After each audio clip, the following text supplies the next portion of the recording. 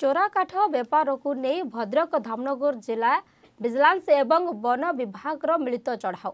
କୈଥଖୋଲା ବଜାର ସ୍ଥିତ ଖଲିଲ ଅଲି ଖାଁଙ୍କ ଦୋକାନରେ ବ୍ୟାପକ ଚୋରା କାଠ ଥିବା ବନ ବିଭାଗର ହସ୍ତଗତ ହୋଇଥିଲା ଏଥିସହ ସମ୍ପୃକ୍ତ କାଠ ଦୋକାନୀ ଦୈନିକ କୋଲକାତା ଏବଂ କାନ୍ଥିରୁ ଯାତ୍ରୀବାହୀ ବସ୍ ଯୋଗେ ବହୁ ଚୋରା କାଠ ଆଣୁଥିବା ଭିଜିଲାନ୍ସ ଅଫିସରେ ଅଭିଯୋଗ ହୋଇଥିଲା। ଅଭିଯୋଗକୁ ଭିତ୍ତି କରି ସମୂହ ଭାବରେ ଏହି ଚଢ଼ାଉ କରାଯାଇଥିଲା। ଅଲିଙ୍କ ଦୋକାନ ଘର ଏବଂ ଗୋଦାମ ଗୃହରୁ ବିପୁଳ ପରିମାଣର କାଠ ଜବତ ହୋଇଥିବା ଜଣାପଡ଼ିଛି।